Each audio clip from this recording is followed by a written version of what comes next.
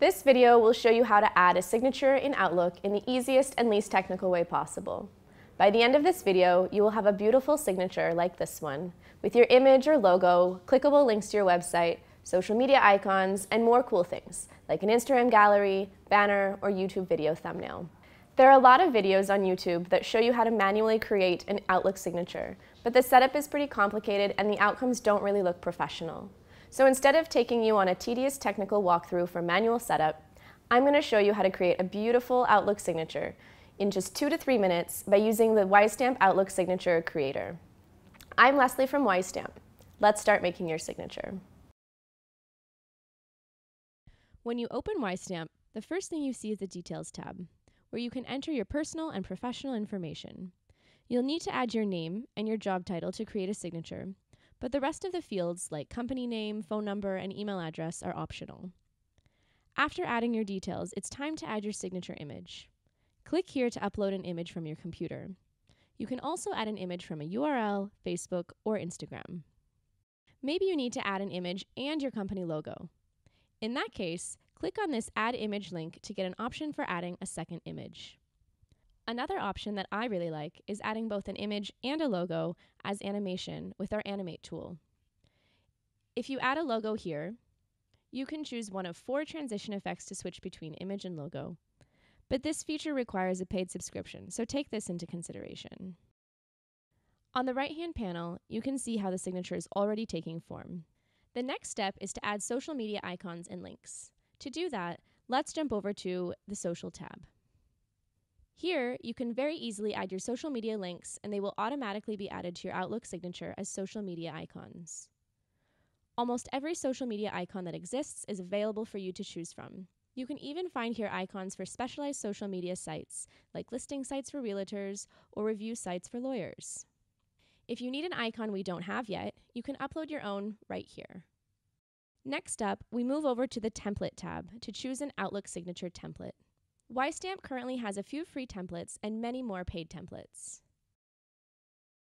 Something I want to point out about Outlook signature templates is that a lot of the templates you see on YouTube videos for creating Outlook signatures will break on different screens, browsers, and devices. The signatures you make manually from these videos may not look the way you expect them to look when your recipients view your emails. This may happen more often than you'd think. I'm telling you this because all of the templates you see here are tested and validated on all devices and screen sizes. They will always show and will never break. If you've ever had problems like this, or you've experienced other problems, tell me about it in the comments section below, and maybe I could offer some good advice.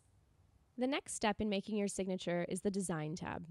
This is where you can tailor the signature design to your specific taste and preferences. This step is optional, since it's currently only open to paid subscribers. If you don't need to customize your signature design, just jump ahead to the next step where you can choose apps and add-ons to add to your signature.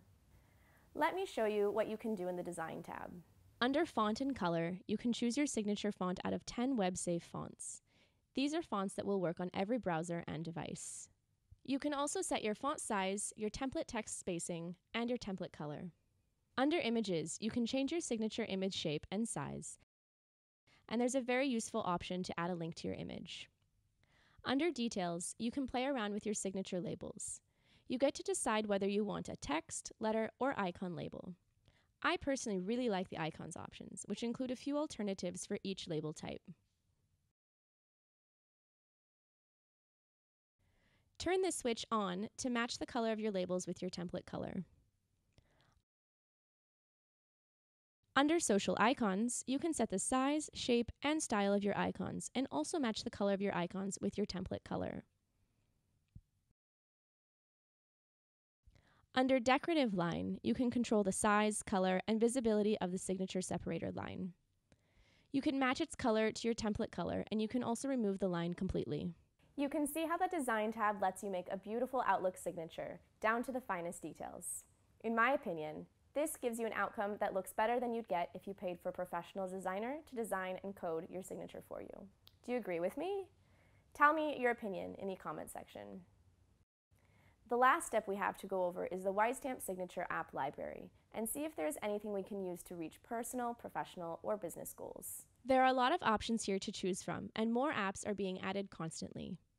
You can add a handwritten sign off, an email disclaimer, your Instagram gallery, a green footer, a YouTube video thumbnail, a custom button, and that's not even half of it.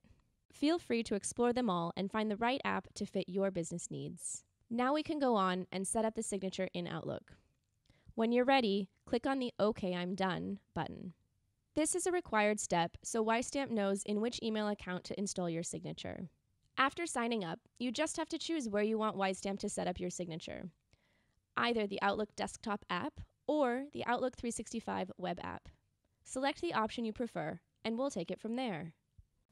To find the WiseStamp Outlook signature creator, I left you a link at the end of this video, and also in the description box down below. Have fun creating your signature. If you found this video useful, feel free to give us a thumbs up. And for more videos on how to promote your professional or business goals, subscribe to our channel. See you next time.